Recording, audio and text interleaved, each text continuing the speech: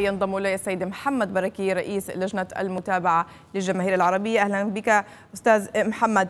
أستاذ محمد سأبدأ بسؤال عن شعورك اتجاه ما يجري خاصة يعني بعدما شاهدت أربع جرائم قتل ما يشبه المجزرة خلال أقل من 24 ساعة.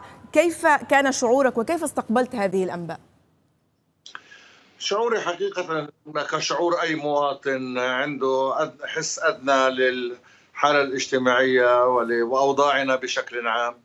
يعني الشعور هو كأنك تعيش في غابة في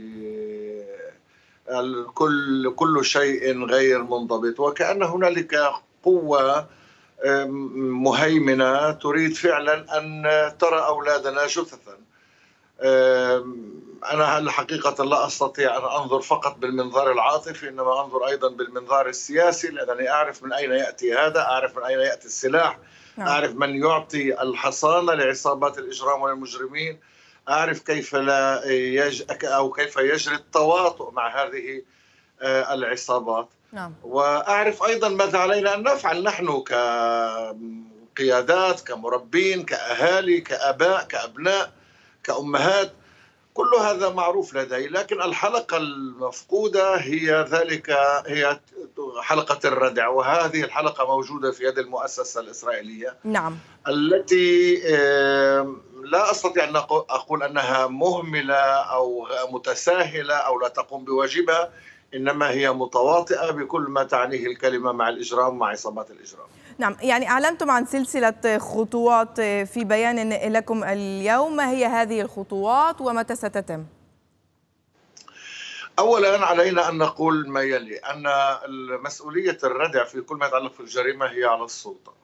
والأمر الثاني أن نحن لا نقبل المحاولة البائسة للمؤسسة الحاكمة بإلقاء اللوم على الضحية وعلى قيادات المجتمع العربي. وكأن قيادة المجتمع العربي يجب أن تقوم بدور الشرطة ولا يوجد لها صلاحيات شرطة أصلا. م. والأمر الثالث علينا أن نؤكد أنه كل الحديث عن إدخال المخابرات جهاز الشباك إلى حلبة الجريمة والعنف بحجة أن مقاومة هذه الظاهرة ستكون أنجع. هذا كلام مرفوض لأن آه، جهاز الشباك يستعمل رؤساء العصابات أو زعماء هذه العصابات كمتعاونين وهم وهذا الجهاز يعطيهم الحصانة ولذلك مطلبنا هو أن يبتعد الشباك عن حياتنا في كل شيء. نحن لسنا مشروعا أمنيا عند الشباك. اليوم قررنا مجموعة من الخطوات من أجل استعادة الزخم الشعبي للمعركة ضد العنف وضد الجريمة وضد السلاح. يوم آخر الأسبوع خميس جمعة سبت. آه، نحن دعونا إلى إقامة مظاهرات أمام كل مراكز الشرطة الموجودة في القرى والمدن العربية في كل البلاد. والبلاد اللي فيش فيها مركز شرطة تنضم إلى أقرب بلد عليها. يوم الأحد اللجنة الشعبية في اللد كانت قد دعت إلى مظاهرة في الساعة السابعة مساء في ساحة الجامع والكنيسة في المدينة. واليوم قررنا في لجنة المتابعة أن نتبنى هذه المظاهرة وندعو إليها قطريا وإلى المشاركة فيها. يوم الخميس القادم مش بعد بكرة 9 9 سيكون هنالك قافلة سيارات. ستخرج إلى أحد إلى شرايين أساسية في المواصلات في الطرق الإسرائيلية ربما شارع ستة ربما أيلون. نحن سنقرر في الساعات القليلة القادمة. آه، من أجل أن يشعر كل شخص في هذه البلاد بأن هنالك صرخة نطلقها في هذا الموضوع. بعد ذلك نحن مقبلون على ذكر هبة القدس والأقصى في أول الشهر القادم وطبعا العنوان سيكون إضافة إلى إحياء ذكرى الشهداء والقيام بواجبنا تجاههم. آه، آه، العنوان الأساسي سيكون موضوع مكافحة العنف والجريمة والسلاح. نعم. والمسيرة المركزية التي ستكون في هذا اليوم ستكون متركزة أو متمحورة حول هذا الموضوع. بعد ذلك كما قلنا موضوع الإضراب العام مطروح.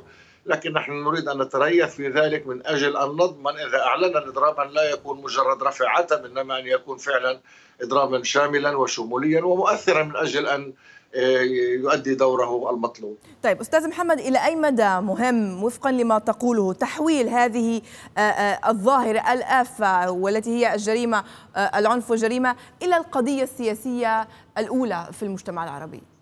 هي قضية سياسية يعني يعني لا يوجد دولة لها مصلحة في أن آه، يعم الإجرام في في الشوارع القرى والمدن إلا إذا كان عندها اعتبارات أخرى واعتبارات المؤسسة الإسرائيلية واضحة جدا هي تريد أن تقوم بتفتيت وتفكيك المجتمع العربي والهاء عن قضايا الأساسية، عن قضايا شعبنا الفلسطيني، عن قضايا القدس، قضايا الاحتلال، الهاء عن قضايا هدم البيوت، عن قضايا الخرائط الهيكلية، عن المساواة، عن قضايا التعليم، ليصبح انشغالنا انشغالنا الأساسي في موضوع الأمن الشخصي، هذا واضح إنه هذا قضية انتشار الجريمة والسلاح وليست قضية خلل اجتماعي إنما هو سياسة مرتبة من أجل تفكيك وتفتيت مجتمعنا، لذلك يجب أن يكون هنالك تعبير عن الإجماع اللي موجود في مجتمعنا لرفض هذه الظاهرة أن يكون تعبير عن ذلك في العمل الشعبي الذي آه، دعونا إليه